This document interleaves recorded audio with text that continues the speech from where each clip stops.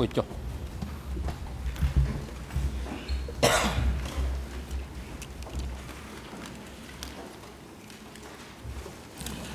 អង្គជំនុំជម្រះប្រកាសបន្តកិច្ចដំណើរការនីតិវិធីសកម្មការសកម្មការនៅថ្ងៃនេះអង្គជំរះធ្វើសកម្មការបន្តស្ដាប់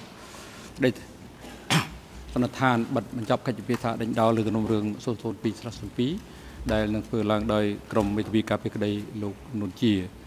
ក្លាមជីសកម្មការកញ្ញាជាស៊ីហងឡើងរាយការណ៍ពីស្ថានភាពវត្តមានអវត្តមានភិក្ខីនិងបុគ្គលនៃអង្គជំរះក៏អញ្ជើញឲ្យចូលរួមនៅក្នុងកិច្ចដំណើរការសកម្មការសម្រាប់ថ្ងៃនេះ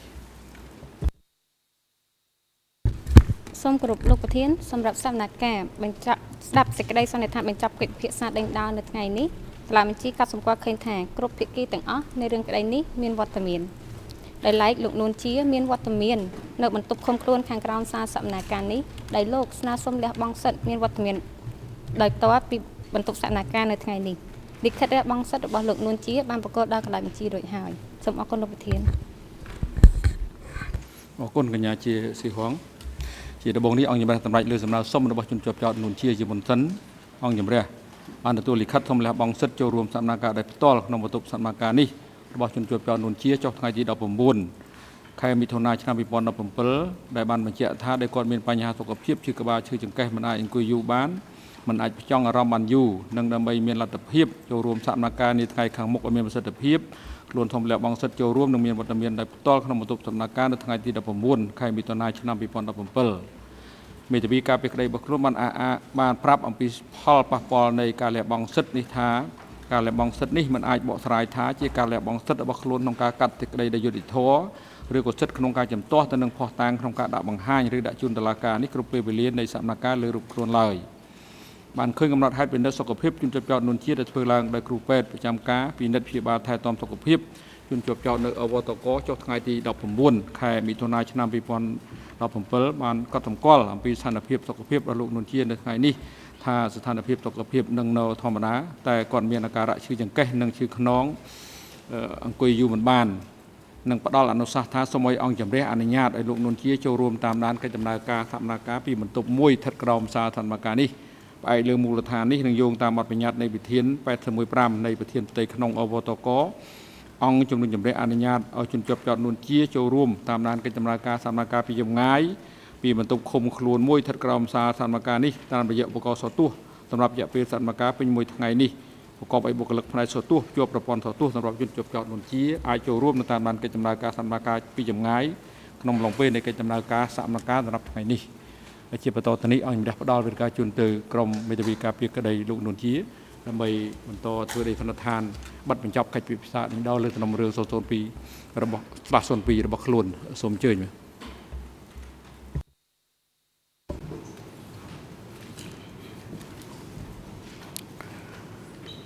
សូមគោរពលោកប្រធាន លោកលោកស្រីចៅក្រមនិងសាសាធារណជនដែលមានវត្តមាននៅក្នុងសកម្មភាពនេះខ្ញុំឈ្មោះសុនរុនជាមេធាវីជាតិការពារលោកនួនជា កាលពីថ្ងៃសុក្រមុន ក្រុមរបស់យើងខ្ញុំ បានបង្ហាញពាក់កណ្ដាលនៃផ្នែកដំបូងនៃការឆ្លើយតបរបស់យើងខ្ញុំ ទៅនឹងសហប្រញ្ញានិងសហ មេធាវីនាំមុខតំណាងដើមបណ្ដឹងរដ្ឋបវេនីហើយព្រមទាំងសង្ខេបចំណុចសំខាន់សំខាន់នៃសំណុំរឿងរបស់លោកនួនជា យើងបានលើកឡើងអំពីចំណុចសំខាន់នៃសំណុំរឿងរបស់យើងខ្ញុំដែលហៅថាសัตว์ក្រពើ យើងក៏ពិភាក្សាផងដែរអំពី គោលនយោបាយទី1របស់បកកុម្មុយនីសកម្ពុជា ដែលចោតនៅក្នុងសំណុំរឿងរបស់យើងខ្ញុំនឹងជាគោនឹងជាគោលនយោបាយការពារនិងសន្តិសុខនិងព្រមទាំងពិភាក្សាអំពីរបៀបដែលគោលនយោបាយត្រូវបានអនុវត្តនៅក្នុងមន្ទីរសន្តិសុខទាំង3នៅក្នុងចំណោមមន្ទីរសន្តិសុខទាំង4នៅក្នុងសំណុំរឿងរបស់យើងខ្ញុំ ដោយសារសវនកម្មកាលពីថ្ងៃសុក្រមុន បានបញ្ចប់មុនពេល យើងខ្ញុំក៏ពុំអាចធ្វើការបង្ហាញពីសំណុំរឿងរបស់លោកនួនជា ស្ដីអំពីចំណុចទី4ដែលជាមន្ទីរសន្តិសុខចុងក្រោយ គឺស21បានទីដូច្នេះសហភាពតារបស់ខ្ញុំលោក Victor Kope នឹងធ្វើការបង្ហាញក្នុងថ្ងៃនេះតទៅទៀត ដោយសារណានឹងវិធីនឹងវិធីដែលយើងខ្ញុំបានគ្រងទុកនឹងរៀបចំសម្រាប់ការធ្វើបទបង្ហាញនៅថ្ងៃនេះ យើងខ្ញុំនឹងចាប់ផ្ដើមដោយការនិយាយអំពីស21យើងខ្ញុំនឹងមិនចាប់ផ្ដើមដោយការនិយាយអំពីស 21ទេជំនួសមកវិញយើងខ្ញុំ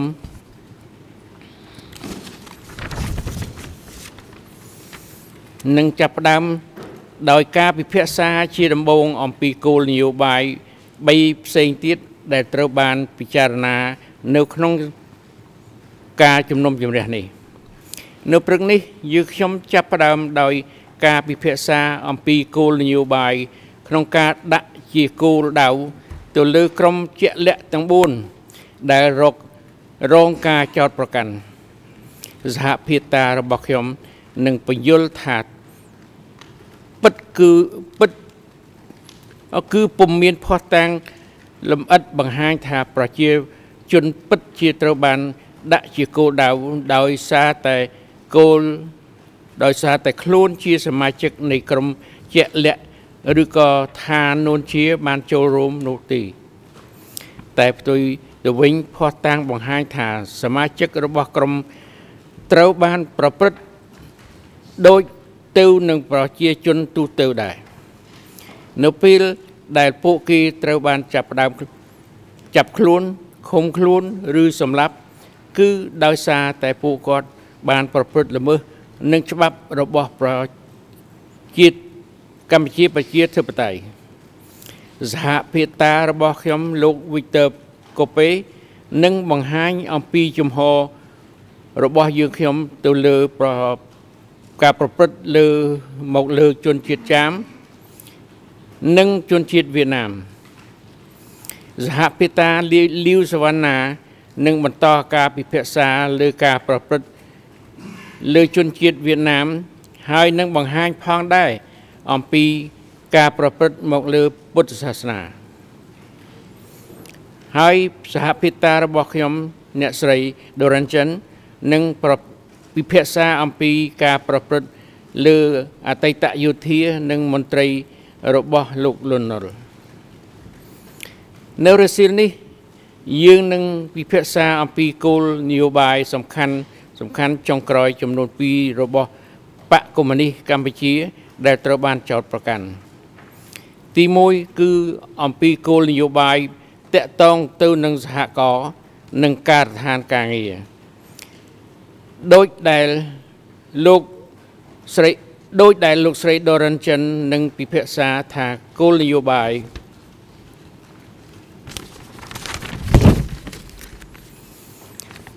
របស់បកកុម្មុយនីសកម្ពុជា ក្នុងការបង្កើតសហករណ៍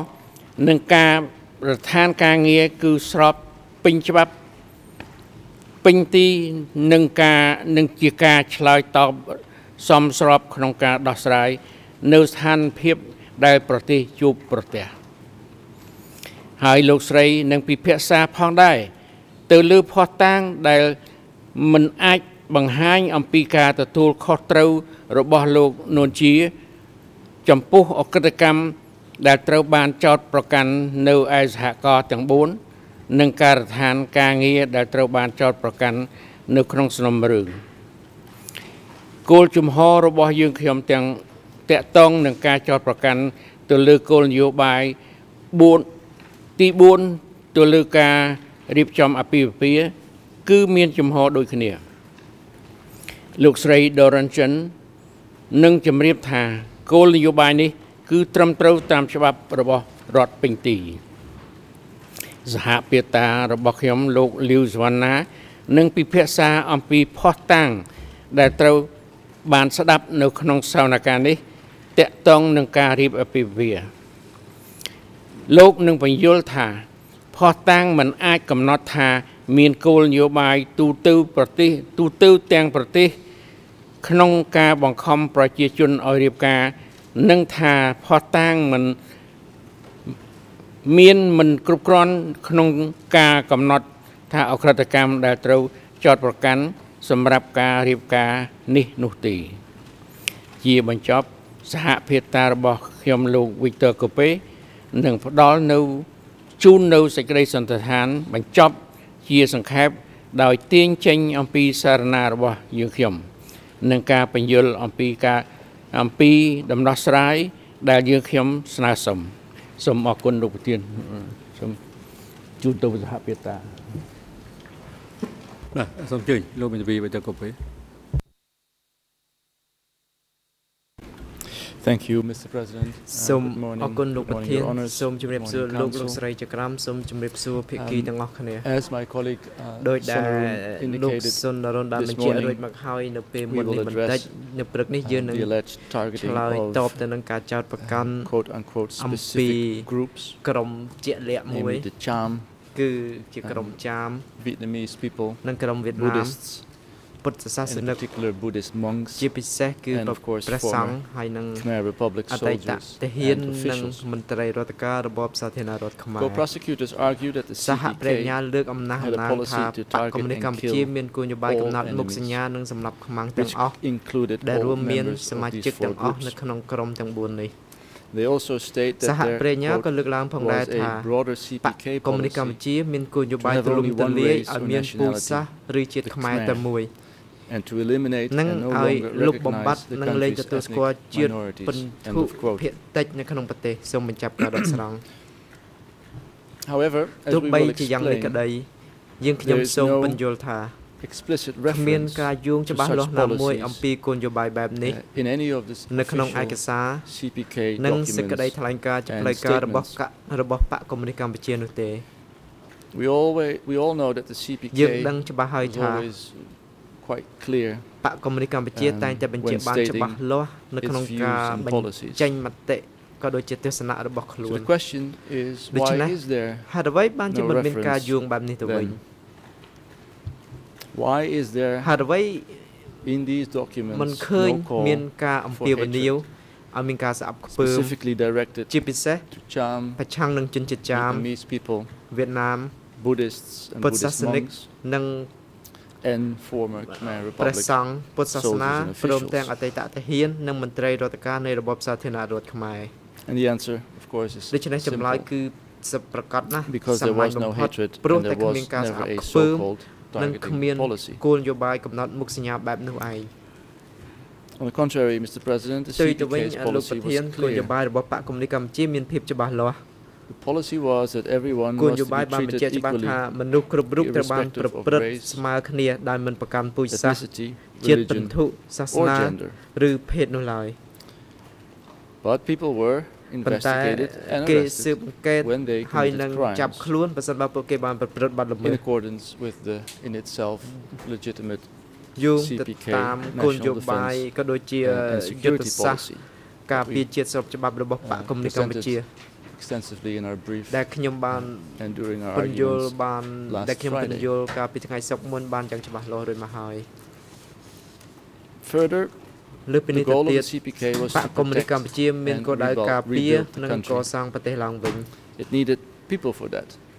បកកុម្មុយនីសកម្ពុជា Many ត្រូវការ people. ប្រជាជនសម្រាប់អភិអនុវត្ត Why ភារកិ would ច្ចនេះ it systematically kill ហេតុដូច្ people? នេះហេតុអ្វី who បានជាបកកុម្មុយនីសកម្ពុជា represent a large ត្រូវសម្រាប់ part ប្រជាជនជាលក្ខណៈ of ប្រ Cambodian ព័ន្ធទៅវិញ population? បើប្រជាជនទាំងនេះតំណាងឲ្យមួយផ្នែកធំនៃ It ប្រជា makes ជន no កម្ពុជា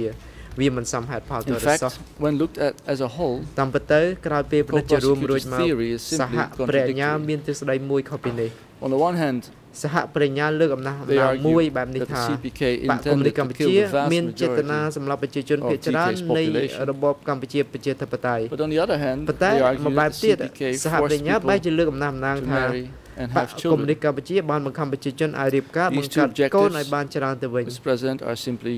លោកប្រធានលោកលោកស្រីចក្រមជាទីគោរពគោលដៅទាំងពីរនេះវាមិនស៊ីចង្វាក់គ្នាទៅទៅសោះវាមិនអាចអនុវត្តគោលដៅទាំងពីររួមទៅរួចនោះទេ When considering whether the evidence establishes beyond reasonable doubt នៅពេលពិចារណាថាតើផតាបង្ហាញឲ្យហួសពីវិមតិសង្ស័យថាបកគណនីកម្ពុជាមានគោលនយោបាយធ្វើទុកបុកម្នេញសម្រាប់ឬបង្ហាញឬបំផ្លាញក្រុមណាមួយនៃក្រុមដែលជាគោលដៅទាំង4នោះដែរឬទេនោះ យើងត្រូវតែពិចារណាលើផុសតាងអង្គហេតុជាមូលដ្ឋានមួយចំនួន First ទី1 It's not because someone who was Cham មិនមែនគ្រាន់តែមនុស្សម្នាក់ជាជនជាតិចាមឬវៀតណាមពុទ្ធសាសនិកឬអតីតទាហាននិងមន្ត្រីរដ្ឋការនៃរបបសាធារណរដ្ឋខ្មែរដែលត្រូវបានចាប់ខ្លួនឃុំខ្លួនឬសម្រាប់ចោលនោះទេហើយ គេក៏មិនកំណត់មុខសញ្ញាពួកគេដោយសារមូលហេតុពុទ្ធសាសសាសនាឬទស្សនៈនយោបាយរបស់ពួកគេនោះទេ a link between the actions taken towards them យើងត្រូវតែបង្ហាញឲ្យហួសពីវិមតិសង្ស័យដែលសំអាងលើផ្ដាងជាលក្ខនិងជឿជាក់បានអំពីទំនាក់ទំនងរវាងវិធានការអនុវត្តចម្ពោះរវាងវិធានការអនុវត្តចម្ពោះគេជាមួយនឹងសមាជិកភាពរបស់ពួកគេនៅក្នុងក្រុមជាលក្ខមួយនោះ ទី2វាមិនមែនគ្រាន់តែឧក្រិដ្ឋកម្មមួយចំនួនត្រូវបានប្រព្រឹត្តប្រឆាំងនឹងបុគ្គលជាក់លាក់នៅតាមទីតាំងជាក់លាក់មួយចំនួនត្រូវចាត់ទុកថាជាឧក្រិដ្ឋកម្មនេះត្រូវបានប្រព្រឹត្តអនុលោមតាមឬក្រោមការណែនាំរបស់បកកុម្មុយនីសកម្ពុជានោះទេ again ខ្ញុំសូមបញ្ជាក់ម្ដងទៀតថាយើងត្រូវការផ្ទាំងជាក់លាក់បង្ហាញអំពីករណីទាំងអស់នេះ ជាពិសេសយើងត្រូវបង្ហាញទំនាក់ទំនងរវាងនួនជាជាមួយនឹងអ ுக ្រិតកម្ម In fact for the crimes of genocide ចំពោះអ ுக ្រិតកម្មបលាយពូជសាសន៍ការសម្លាប់បង្គាលការធ្វើទុកការធ្វើទុកបុកម្នេញដែលទាមទារឲ្យមានចេតនាជាក់លាក់នោះយើងចាំបាច់ត្រូវបង្ហាញផុសតាងឲ្យហួសពីវិបត្តិសង្ស័យថានួនជាខ្លួនឯងពិតជាមានចេតនាអ ுக ្រិតដូចនឹងលក្ខខណ្ឌតម្រូវនោះមែន3ទី3 And of course that is uh, what the Supreme Court chamber has នេះគឺជាអ្វីដែលអង្គជំនុំជម្រះតុលាការកំពូលបានសម្រេចច្បាស់លាស់ណាស់គឺថាมันគ្រាន់តែមានមនុស្សម្នាក់ that he or she សូមខ្ញុំសូមដកស្រង់បានបាត់ខ្លួន មានន័យថាគាត់ត្រូវបានគេសម្លាប់ចោលនោះទេ ចំណុចទី4 mere statements that quote all members of one of the four targeted groups were killed នៅក្នុងក្រុមណាមួយក្នុងចំណោមក្រុមគោលដៅត្រូវបានគេសម្លាប់ទេ do not constitute proof ទាំងនេះមិនអាចចាត់ទុកជាផតាំងបង្ហាញហួសពីវិមតិសង្ស័យនៃការសម្លាប់នោះទេយើងចាំបាច់ត្រូវការផតាំងជាក់លាក់និងលម្អិតយកមកបង្ហាញហើយចំណុចចុងក្រោយលោកប្រធានគឺការលើកឡើងគ្រាន់តែថាខ្ញុំសម្បើ ខ្ញុំសូមដកស្រង់មានបញ្ជាឲ្យសម្លាប់បញ្ចាប់ការដកស្រង់ប្រជាជនចាមវៀតណាមពុទ្ធសាសនិកឬអតីតទាហានមន្ត្រីរដ្ឋការលន់នល់ទាំងអស់មិនអាចជាភ័ស្តុតាងបង្ហាញហួសពីវិមតិសង្ស័យបញ្ជាក់ថាការបញ្ជាបែបនេះពិតជាមានមែននោះទេ Mr. President លោកប្រធាន This is likely um to be the sole trial highly likely to be the sole trial before this នេះទំនងជាការជំនុំជម្រះតែមួយគត់នៅចំពោះមុខសាលាក្តីដែលបានធ្វើការចាត់ប្រកាន់បាត់អក្រក់បល័យពុជសាស It's very tempting to create a legacy ការជំនុំជម្រះនេះចង់បង្កើតគេដំណើរមួយថាអង្គជំនុំជម្រះនេះហើយជាអ្នករកឃើញបាត់អក្រក់កម្មបល័យពុជសាសកម្ពុជាក៏ប៉ុន្តែ to convict Nguyen Chi of genocide without evidence ប្រកាសមួយយើងត្រូវតែប្រយ័ត្នប្រយែងនិងរៀបរៀង រាល់ការព្យាយាមចង់ឲ្យផ្ដាំទៀតទំនួនជាពីបទឧក្រិដ្ឋកម្មបលាយពិសាដែលគ្មានផោះតាំង to review ហើយដូច្នេះហើយយើងខ្ញុំស្នើសុំឲ្យអង្គជំនុំជម្រះពិនិត្យឡើងវិញដោយអនាគតិលើផោះតាំងដែលព្រះអញ្ញាបានបង្ហាញដើម្បីបំពេញបន្ទុកនៃការបង្ហាញផោះតាំងហើយព្រមទាំងគោរពទៅតាម អ្វីដែលអង្គជំនុំជម្រះតុលាការកំពូលបានសម្រេចអំពីការបំពេញបន្ទុកនៃការបង្ហាញផតការនៅពេលដែលលោកលោកស្រីចក្រមធ្វើតាមអ្វីដែលយើងខ្ញុំស្នើឲ្យលោកលោកស្រីចក្រមនឹងយល់ឃើញថាมันមានអ្វីអាចផ្ដន្ទាទោសលោកនួនជានោះឡើយ now move to discussing the allegations related to the treatment លើកឡើងអំពីការចោទប្រកាន់ពីការប្រព្រឹត្តទៅលើជនជាតិចាម។ Mr. President last week លោកប្រធានលោកស្រីចក្រមកាលពីសប្តាហ៍មុនខាងព្រះញ្ញាបានស្នើសុំឲ្យលោកប្រធានលោករដ្ឋាភិបាលចក្រមបានបង្កើតនូវច្បាប់មួយតាក់ទងទៅនឹងអំពើបន្លាយពូជសាសន៍ the international court prosecutor asked me to create ព្រញ្ញាសហព្រញ្ញាអន្តរជាតិបានស្នើសុំឲ្យបង្កើតច្បាប់មួយដែលមិនមានទរស័ក្តិដើម្បីផ្ដន្ទាទោសនួនជាអំពីឧក្រិដ្ឋកម្មដែលបានប្រព្រឹត្តតាំងពីឆ្នាំ77 I find this to be a a, a quite shocking disregard ខ្ញុំមានការភ្ញាក់ផ្អើលក៏ជារន្ធត់យ៉ាងខ្លាំងចំពោះគោលការណ៍នេះគឺថាគេប្រើប្រាស់ច្បាប់ដែលมันមាននៅពេលដែលអក្រិតកម្មបានប្រព្រឹត្តឡើងហើយខ្ញុំប្រកាសថានេះគឺជាគោលការណ៍តម្រូវ ជាមូលដ្ឋានបំផុតមួយនៅក្នុងច្បាប់ព្រហ្មទណ្ឌអន្តរជាតិលោកលោកស្រីចក្រមប្រកាសថាមិនមានការបលាយពិសាសមិនមានការសម្លាប់រង្គាលនិងមិនមានការធ្វើទុកបុកម្នេញទៅលើជនជាតិចាមនោះឡើយបាក់កុម្មុយនីសកម្ពុជាមិនមានចេតនាក្នុងការកំទេចឬក៏ធ្វើការរើសអើងដោយផ្អែកទៅលើមូលដ្ឋានសាសនានោះឡើយប៉ុន្តែផ្ដាំងបានបង្ហាញថាជនជាតិចាមត្រូវបានគេប្រព្រឹត្តដូចគ្នានឹងប្រជាជនកម្ពុជាដទៃទៀតដែរ Now Let me give you a little roadmap. I will first explain. ជាដំបូងខ្ញុំនឹងបញ្យល់ថា official policy to persecute or exterminate ជាផ្លូវការក្នុងការធ្វើទុកបុកម្នេញឬក៏ការសម្លាប់រង្គាលទៅលើជនជាតិចាមគឺមិនមាននោះទេហើយផ្នែកទី2ខ្ញុំនឹងធ្វើការបង្ហាញដោយសង្ខេបនៅពេលនេះដែរអំពីផតាងអង្គហេតុលើការចាត់ប្រកាន់ហើយខ្ញុំនឹងបង្ហាញថាគ្មានអ្វី that there was a nationwide or even local គ្មានអ្វីបង្ហាញឲ្យឃើញថាជាគោលនយោបាយទូទាំងប្រទេសឬក៏ការធ្វើទុកបុកម្នេញជាប្រព័ន្ធនៅតាមកន្លែងឬក៏រកការសម្លាប់រង្គាទៅលើប្រជាជនចាមនោះឡើយ។ The co-prosecutors alleged សហប្រញ្ញាបានចោទប្រកាន់ថាបកកុម្មុយនីកម្ពុជាហាមឃាត់ការអនុវត្តសាសនារបស់ចាមគៀបសង្កត់វប្បធម៌ចាម broke up their communities បំបែកបំបាក់សហគមន៍ quote unquote extermination campaigns យុទ្ធនាការសម្លាប់រង្គាលនៅកន្លែងដែលប្រជាជនចាមត្រូវបានប្រមូលផ្ដុំ។ សហប្រញ្ញាអះអាងថាបកកុម្មុយនីសកម្ពុជាបានធ្វើដូច្នេះដោយមានចេតនាក្នុងការបំផ្លាញក្រុមចាមដែលរស់រានក្នុងរយៈពេលវែងហើយថានួនជាបានចូលរួមក្នុងយុទ្ធនាការបដិពិសាសនេះដែរ However Mr President ទោះជាយ៉ាងនេះក្តីលោកប្រធានលោកលោកស្រីចក្រម It's difficult because also the prosecution ព្រោះថា it's not translated but nevertheless มันមានការបកប្រែទៅលើសាសនារបស់ព្រះញ្ញាប៉ុន្តែប្រសិនបើយើងអានសេចក្តីសន្និដ្ឋានមិនចាប់កិច្ចពិភាក្សាដេញដោរបស់សហប្រញ្ញាកថាខណ្ឌ100 1007ដល់1028និង1000 1099ដល់1110ពេលនោះលោកប្រធានលោករុស្ស៊ីជាក្រមនឹងឃើញថាសហប្រញ្ញាផ្ដាល់នៅផោះតាំងនៅគ្មានភាពសច្ចានុមត្តិក្នុងការគ្រប់គ្រងដល់ការចាប់កាន់ថាបកគំនិតកម្ពុជាមានផែនការក្នុងការបំផ្លាញឬក៏ធ្វើទុកលើជនជាតិកម្ពុជាជនជាតិចាមជាក្រមនោះទេការពឹងផ្អែកសំខាន់របស់សហប្រញ្ញាគឺជាទស្សនៈរបស់អ្នកស្រាវជ្រាវឬក៏គ្រាន់តែជាការពិភាក្សាផ្ទាល់ខ្លួនតែប៉ុណ្ណោះ Um, Mr. President, those scholars are either not អ្នកស្រាវជ្រាវទាំងអស់នោះមិនមែនជាសាស្ត្រីឬក៏មិនត្រូវបានចាត់ទុកថាជាអ្នកជំនាញលើជនជាតិចាមនោះទេហើយទស្សនៈរបស់គាត់គឺពុំត្រូវបានសួរដេញដោលឡើយ Opinions of the co-prosecutor's former analyst របស់អតីតអ្នកវិភាគរបស់សហប្រញ្ញាគឺលោក Steve Heather They have even less value កាន់តែមានតម្លៃតិចជាងនេះទៅទៀត As right rightly pointed out ដោយដែលបានលើកឡើងយ៉ាងត្រឹមត្រូវដោយអង្គជំនុំជម្រះរបស់តុលាការ ICTY បានបញ្ជាក់ថាទស្សនៈរបស់អ្នកស៊ើបអង្កេតគឺខ្ញុំសូមដកស្រង់គ្មានតម្លៃចំពោះថាបញ្ចាប់ការដកស្រង់ដោយសារតែវាគ្រាន់តែជាខ្ញុំសូមដកស្រង់ការលើកឡើងដដែលនៃការចាត់ប្រកាន់របស់សហប្រញ្ញាបញ្ចាប់ការដកស្រង់ prosecutor's court case is that CPK intended to eliminate ជាចម្បងគឺថាបកគមនីកម្ពុជាមានចេតនាបំផ្លាញដោយសារតែខ្លួនគិតថា มันអាចកែប្រែបានតែ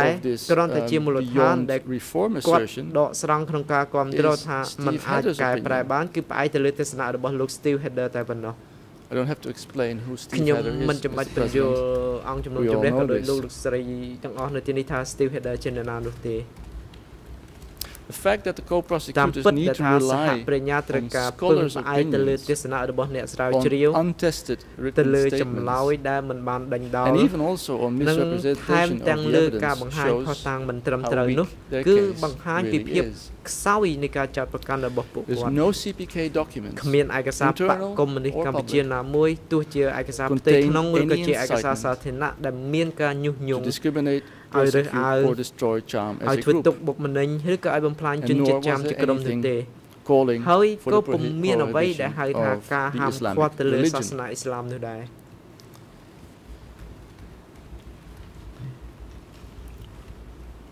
The Democratic Kampuchea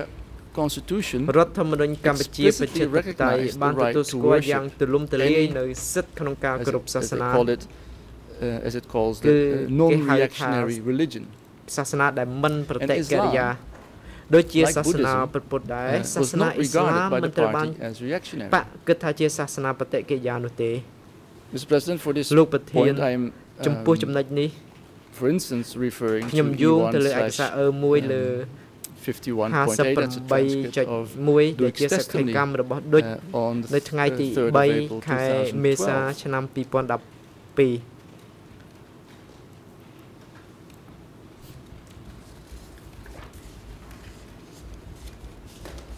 Prosecution is Saha- constantly relying បរិញ្ញា on the evidence of Duik, អះអាងថាផែនការ Mr. President, 5ចំណុច but he ប៉ុន្តែ also in your courtroom នៅក្នុងអង្គ I ជំនុំ was ជម្រះនេះ questioning ដូចគាត់ him បាននិយាយហើយខ្ញុំបាន explicitly សួរ says គាត់ហើយគាត់បានបញ្ជាក់ there យ៉ាង was ច្បាស់ no ថាគ្ policy មានគោលនយោបាយ against the charm. ប្រឆាំងជនជាតិចាមនោះទេ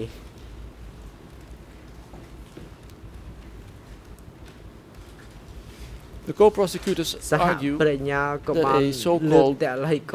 five-point plan was announced by a commune cadre in Kopal village. ស្រុកកោះ uh, ផល which allegedly required ដែល Cham តម្រូវ to ឲ្យ uh, ជន burn ចិ the ញ្ចាមដុ Quran, តចោលគម្ពីរ to កូអា raise ន pigs and eat ឲ្យ pork, ចាមចិញ្ចឹមជ្រូក to stop បរិភោគ prayers, សាច់ជ្រូកឈប់ថ្វាយប to ង្គំ cut their hair, ឲ្យកាត់សក់ and to only និងឲ្យ marry រៀបការតែ non-Cham ជាមួយនឹង people. ដៃគូដែលមិនមែនជាជនជាតិចាមនោះ However, the only source ទោះ for ជា this យ៉ាង is នេះ a ក៏ដោយ person named វាអឺមានប្រភពតែមួយគត់ Tor, ពីបុគ្គលម្នាក់ឈ្ a មោះ person who did not Rest testify Tot in court. ប៉ុន្តែ Restot មិនបានមកផ្ដល់សេចក្ដីកម្មនៅក្នុងតុលាការនេះទេ There's no other គ្មាន evidence, ភស្តុតាងផ្ particularly សេង no ទៀតឡើយ CDK ជាពិសេស documents, នោះគឺគ្មានឯកសាររបស់បក corroborating កុម្មុយនីសកម្ពុជា his claim that there គាំ was ទ្រ such a ទៅនឹង plan. ការលើកឡើងថាមានផែនការដូចនេះនោះទេ Moreover, the លើសពីនេះ content ទៀត of នោះ the ក៏ alleged ខ្លឹម five-point សារនៃ plan clearly ផែន contradicts ការ the 5 evidence ចំណុចដែលរង we ការចាត់ have, បង្ការនោះ which គឺផ្ទុយ shows នឹងផ that ុសតាមដែលយើង marriages មាន between Cham ដែលបង្ហាញអំពី individuals ការរៀប were ការ in រវាង fact ចាមនិងចាម authorized by local នឹង authorities ចាមនឹងមិនមែន throughout the DK ជាមួយនឹងជនជាតិ regime. មិនមែនចាមដែលបានអនុញ្ញាតដោយអាជ្ញាធរនៅតាមកន្លែងនៅ In ទូ fact, ទាំងរបប the កម្ CPK's ពុជាប្រជាធិបតេយ្យ encouragement តាម of ពិតទៅ Cham គឺបក people's កុម្មុយនីស reproduction shows កម្ពុជា that there was no បាន intent ជំរុញ to លើកទឹក physically ចិត្តឲ្យប្រជាជនចាម Cham group. បង្កើនចំនួននោះទេគឺគ្មានចេតនាណាមួយក្នុងការបំផ្លាញក្រុមចាមនោះឡើយ Let's now talk about the ឥឡូវនេះ1975ខ្ញុំ uh, សូមនិ Cham យាយអំពី rebellions. ការបះបោររបស់ជនជាតិចាមនៅឆ្នាំ Co-prosecutors 1975 also សហប្រញ្ញា argue ក៏ that បាន the អះអាងថា1975ការ Cham បះបោររបស់ rebellions in ចាម two នៅក្នុង villages ភូមិ in 2 Krochma នៅ district ក្នុងស្រុកក្រូចឆ្មា were simply គឺ a reaction ជាការឆ្លើយតបទៅនឹងការ to ធ្វើទុក pre- បុកម្នេញ previous religious persecution លើសាស rather នាកាលពីពេលមុន than an act មិនមែន of ជា treason. សកម្មភាពក្បត់នោះទេ But their basis is ប៉ុន្តែ mainly hearsay ហេតុ or ផលរ even របស់សហ second-hand ប្រញ្ញា គឺ hearsay ផ្អែកលើ evidence ផុ from សតាង some ឬ local គេនិ residents. យាយតៗគ្នា who were ឬ not ក៏ផុសតាងនិយាយត the ៗ key គ្នា figures ដោយមិន behind ផ្ទាល់ the ពីអ្នក rebellions. ស្រុកដែលមិនមែនជា The អ្នក knowledge of the តស៊ូ reasons ផ្ទាល់ for, នៅ this, ក្នុងការ uh, បះ for បោ the រនោះឡើយ rebellions is therefore incomplete. ដូច្នេះចំណេះដឹងរបស់ពួកគាត់ទៅលើហេតុផលគឺមិនពេញលេញឡើយ Those people holding key information unfortunately ជា either ជាជាអ died កុសល or were not heard អ្នក in ដែលផ្ដល់ court ព័ត៌មានសំ due ខាន់សំខាន់បានស្លាប់ uh, ឬ to ក៏ the មិនបានផ្ដល់ chamber's សេចក្តីកម្មនៅ exclusion ក្នុងតុលាការដោយសារតែអង្គ unfortunate ជំនុំជ exclusion ម្រះដោយសារតែ of អង្គជំនុំ Krojma ជម្រះ Security មិនបាន Center ដាក់ from បញ្ case ចូលមន្ទីរ002សន្តិសុខក្រូចឆ្មា02ចូលក្នុងសំណុំរឿង And of course, 002 its 02នោះឡើយ um, refusal ហើយនឹងការស្ទាក់ to call ស្ទើររបស់ senior អង្គ government ជំនុំជម្រះក្នុងការកោះហៅមន្ត្រីជាន់ testify. ខ្ពស់រដ្ឋាភិបាលមកផ្ដល់សក្ខីកម្ម For example, ឧទាហរណ៍ Senator Uk Bunchun, សមាជិកព្រឹទ្ធសភា who was អុក at ប៊ុន the ឈឿន time ដែលនៅពេលនោះ Deputy Sector Secretary in charge គាត់ of ជាអនុ Krojma លេខា area, តំបន់ទទួលខុស mentioned ត្រូវ in តំបន់ an ក្រូច interview ឆ្មាគាត់បានលើកឡើងនៅ that ក្នុង there បទ were សម្ភា two សន៍ថា organized មាន rebellion ចល movements នាប្រមូលផ្ដុំធ្វើការបះ involving បោ both ចំនួន Cham 2 and Khmer មាន individuals. ការចូលរួមទាំងចាមនិងខ្មែរ And in this interview, he ហើយ says នៅ that ក្នុង the, mo- ការ the សម្ភាសន៍ movements នេះ were suppressed គាត់បានឆ្ and លើ that យ their ថា members ចល were នាត្រូវបាន arrested បង្ក្រាប for ហើយសមាជិក subversion ត្រូវបាន or ចាប់ treason. ខ្លួនដោយសារតែអំពើវិធានសនាឬក៏អំពើក្បត់ Mr. President, um, លោក ប្រធាន I would like to refer you ខ្ញុំ to សូម uh, លើក paragraphs អំពីកថា749 and ខណ្ឌ750 of our brief, uh, where we 749ដល់ discuss all 750នៃ the សារ further ណើ evidence. របស់យើងខ្ញុំដែលនិយាយអំពីផុសតាំងបែបនេះ And this ក្នុងល evidence ក្ខណៈល casts ម្អិត doubt on the ផុស assertion តាំងបែបនេះ that បង្ហាញឲ្យ Cham មានការមន្ rebellions ទិល were សង្ស័យទៅ simply លើការលើកឡើងថា unorganized protests ការបះបោរ against របស់ចាម religious មិនត្រូវបាន persecution. រៀបចំក្នុងការតបតទៅលើការធ្វើទុកបុកម្នេញលើសាសនានោះឡើយ